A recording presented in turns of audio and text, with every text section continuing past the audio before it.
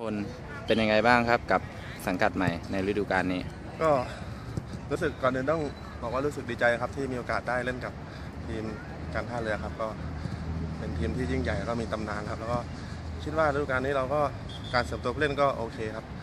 น่าจะน่าจะต่อกรกับทีมอื่นได้ แล้วก็รอขอขอเวลาปรับจูนทีมกันนิดหน่อยเพราะว่าเราก็เข้ามารวมตัวกันใหม่หลายคนครับก็น่าจะ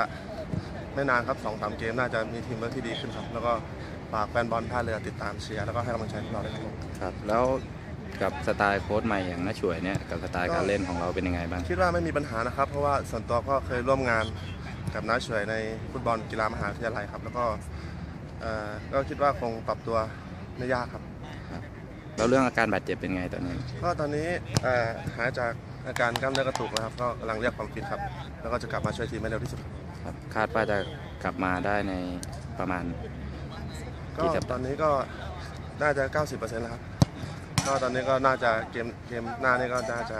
มีโอกาสลุ้นลงช่วยเพื่อนร่วมทีมแล้วครับ โอเคครับ